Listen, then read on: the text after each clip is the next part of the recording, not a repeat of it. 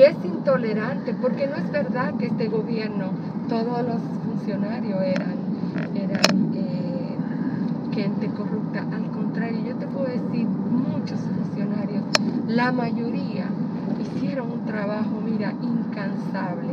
Inclusive gente que no tiene buena prensa o que nadie la conoce.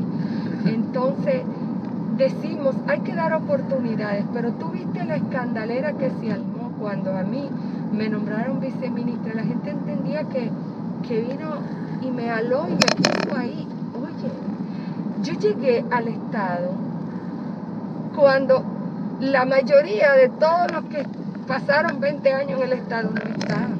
Yo era abogada de oficio junto a Leonel